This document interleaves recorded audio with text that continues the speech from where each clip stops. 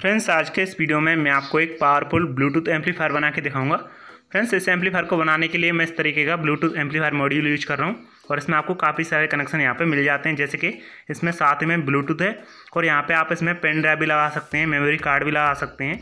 और यहाँ पे इसमें ऑन ऑफ़ स्विच भी दिया गया है स्पीकर के लिए और इनपुट सप्लाई के लिए भी यहाँ पे इसमें कनेक्शन दिए जाते हैं। तो ये सारा कनेक्शन मैं आपको इस वीडियो में बताऊँगा तो वीडियो को शुरू से लेकर एंड तो देखिएगा। चैनल पे पहली बार आए तो इसे सब्सक्राइब कर ले, साथ में नोटिफिकेशन बेल को ऑल पे क्लिक कर दें, ताकि मेरे नई वीडियो आपको तुरंत ही देखने को मिल सके। तो देख पा रहा हूँ फ्रेंड्स यहाँ पे इस तरीके का मैं एम्पलीफायर ब्लूटूथ मोड यूज़ कर रहा हूँ। यहाँ पे चार्जिंग जैक भी दिया गया है, बैटरी को चार्ज करने के लिए मेमोरी कार्ड का कनेक्शन भी दिया गया है। और यहाँ पे ऑन ऑफ़ स्विच भी दिया गया है, और पेन ड्राइव के लिए यहाँ पे सॉकेट भी दी गई है, इसमें आप पेन ड्राइव लगा सकते हैं। देख पा रहा हूँ यहाँ पे। और फ्रेंड्स, यहाँ पे स्पीकर के लिए और इनपुट की सप्लाई के लिए यहाँ पे कनेक्शन दिया गया है। देख पा रहा हूँ यहाँ पे ये स्पीकर का है। यहाँ से भी आप बाहर जोड़ सकते हैं पीछे की साइड से और यहाँ पे आप इसमें से थ्री पॉइंट सेवन बोर्ड की बैटरी से भी सप्लाई दे सकते हैं यहाँ पे। और फ्रेंड्स, यहाँ पे ये सारी कीज दी गई हैं इसमें अलग अलग मोड की। और यहाँ पे देख पा रहा हूँ यहाँ पे पीछे की साइड में ये हमारा ब्लूटूथ का एंटीना है। आप इससे बाहर भी लंबा करके इसे जोड़ सकते हैं। यहाँ पे आप इसमें अलग अलग मोड चेंज कर सकते हैं। वॉल्यूम को भी बढ़ा सकते हैं। तो ये सारा कनेक्शन किस तरीके से होगा, वो मैं आपको इस वीडियो में बताऊँगा। तो वीडियो को शुरू से लेकर एंड तक देखिएगा, थोड़ा सा इसकी मत कीजिएगा। तो यहाँ पे मैं चार वायर यूज़ कर रहा हूँ स्पीकर के लिए और पावर सप्लाई के लिए। तो इनका मैंने यहाँ पे कनेक्शन कर लिया है, देख पा रहा हूँ यहाँ पे प्लस को मैंने प्लस पे दे दिया है और माइनस को मैंने माइनस पे ये हमारे पावर सप्लाई के हैं और ये हमारे स्पीकर के। तो चलिए मैं आपको आगे कनेक्शन बता देता हूँ, किस तरीके से आपको आगे कनेक्शन करना है। तो फ्रेंड्स यहाँ पर मैं इस तरीके का एक स्पीकर यूज़ कर रहा हूँ। आप इससे बड़ा भी स्पीकर यूज़ कर सकते हैं। यहाँ पे आप दो स्पीकर भी इस तरीके के यूज़ कर सकते हैं।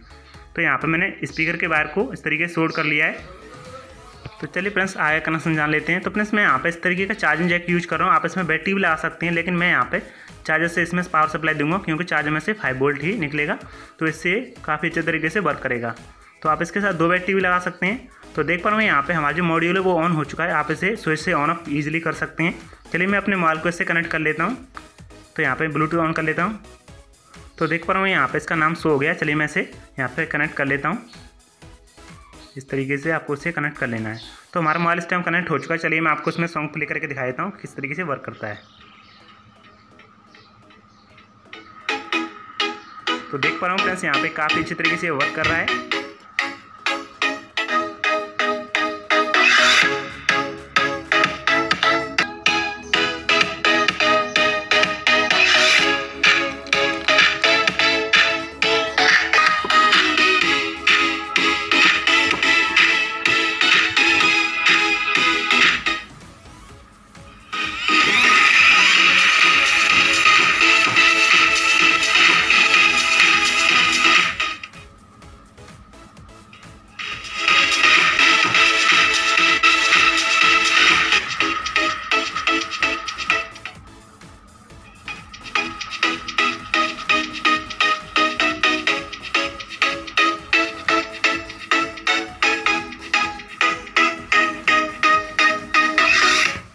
तो इस तरीके से फ्रेंड्स आप एक ब्लूटूथ एम्पलीफायर बना सकते हैं। आप इसे किसी बॉक्स में लगा के ईजिली आप इसे यूज़ कर सकते हैं। वो भी काफ़ी अच्छी तरीके से वर्क करेगा। और फ्रेंड्स आप इसके साथ बैटरी भी यूज़ कर सकते हैं। 3.7 वोल्ट की ईजिली आपको प्लस माइनस उस पर ईजिली सोल्ड कर देना है। फ्रेंड्स अगर आपको इसे बनाने में कोई भी दिक्कत आए तो आप इस वीडियो के नीचे कमेंट सेक्शन में मुझे पूछ सकते हैं। उम्मीद करता हूँ ये वीडियो आपको पसंद आया होगा। वीडियो पसंद आए तो वीडियो को लाइक करें। अपने फ्रेंड्स के साथ शेयर करें। और अगर आप चैनल पर नए हैं तो इसे सब्सक्राइब करें। चलिए फ्रेंड्स मिलते हैं नेक्स्ट वीडियो में। तब तक के लिए बाय एंड टेक केयर